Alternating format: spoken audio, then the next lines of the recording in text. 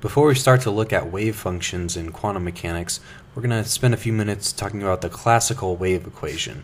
So, we're going to talk about this because there are some important relationships that show up, some corollaries we're going to see between quantum mechanics and how classical waves behave.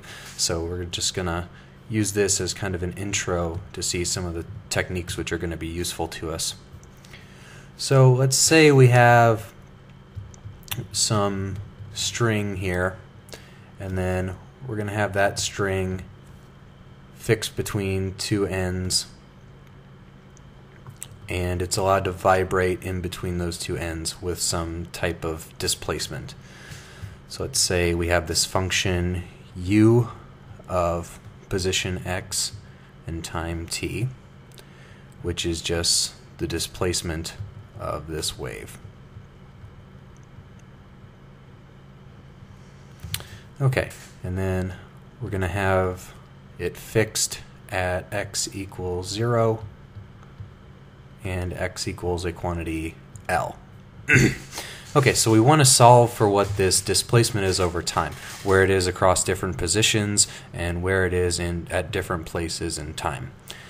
So in order for this to be a wave, it's going to satisfy the classical wave equation, which is a second order partial differential equation.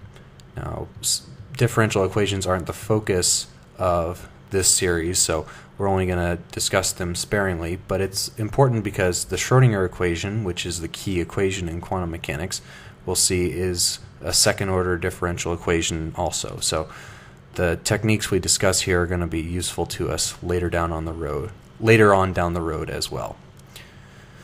So this equation, we have the second partial derivative with respect to position equals 1 over velocity squared, second partial derivative with respect to time.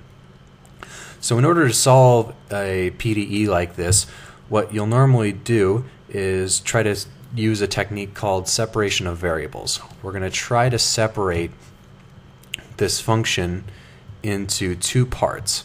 One function which depends only on x, depends only on position, and one which depends only on time, t.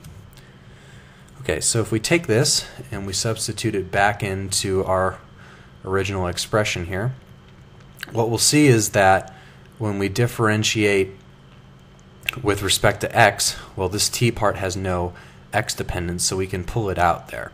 So we can bring this t of t function out, and then this derivative will act on the x part, but now this x is this x is only a function of one variable.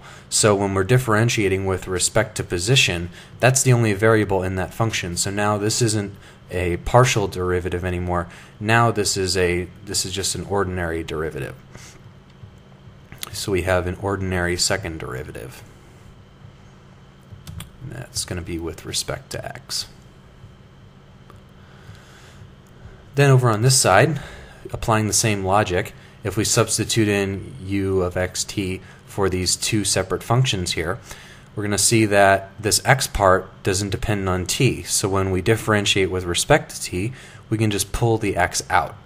And we get the x function over v squared times. And then once again, this t is being differentiated with respect to time, and it only depends on time, so this is no longer a partial derivative.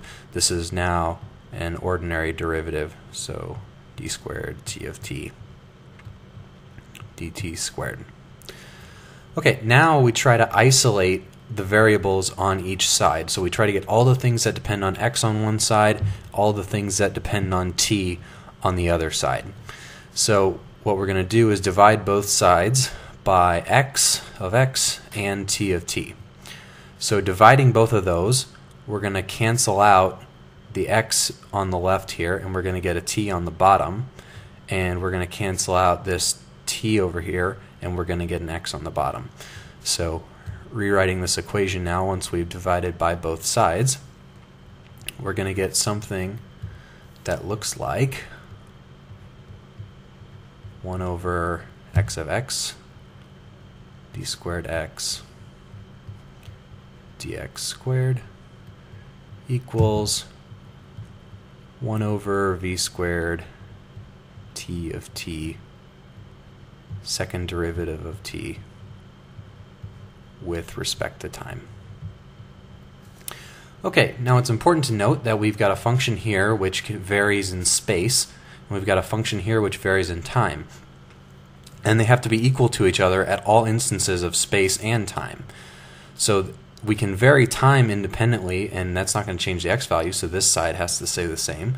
And we can vary time, uh, and we can similarly do the vice versa. So while these are varying, the other side has to stay the same. So the only way this can actually be true is if both of these sides are equal to some constant. Let's say it's k. Now, for reasons that we'll see in just a minute here, I'm also going to say that this constant, which is going to be some value which doesn't change, is also equal to this quantity I'm going to call beta squared. Okay, so each of these sides is equal to beta squared. So if I multiply, if I take this side and I multiply by the x of x function, I'm going to get something that looks like.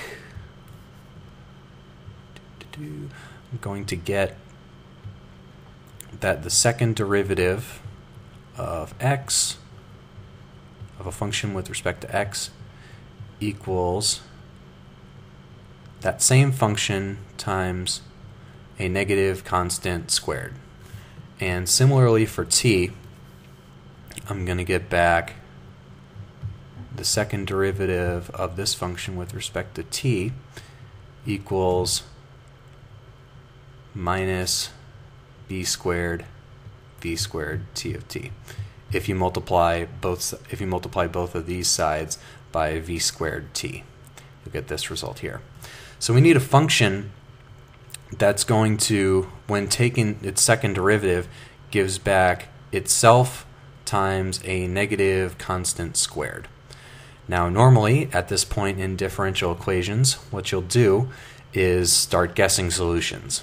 So, one particular function that satisfies this this rule is a sine function. So if I take the second derivative of a sine function, I'm going to get a negative sine function back. And if that sine function has some extra parameter inside the argument here, then um, from the chain rule, then it's going to go outside here, and taking the second derivative, it's going to come outside twice. So this beta here can be represented by having x of x equal some constant times works for cosine as well, cosine beta x. And it also works for sines. So it can be this can be any sine or any cosine function. And if you differentiate this yourself, take the second derivative, you'll find that you'll get minus beta squared times this original function. So this does indeed satisfy our requirements based off of our separation of variables assumption. Then if we do the same thing for t, we're going to get the same function except for now instead of beta, we're going to have beta times v inside of here. So we're going to have a different constant, say c cosine beta v t, this time depending on t, because this was uh, differentiated with respect to t, plus d sine beta v t. And this a, b, c, and d, they can be any constant. You can change those to any value you want, and these equations will still be true. And if you multiply the product of these, you'll see that it satisfies this equation here. Now, to go beyond this, we're going to have to start applying the specific conditions to the system we're talking about, um, this, this string with fixed ends here the, everything we've done thus far is completely general and doesn't have any restrictions over the range of which it is valid. It's only going to be when we apply more specific conditions to our specific problem that a more specific formula is going to fall out.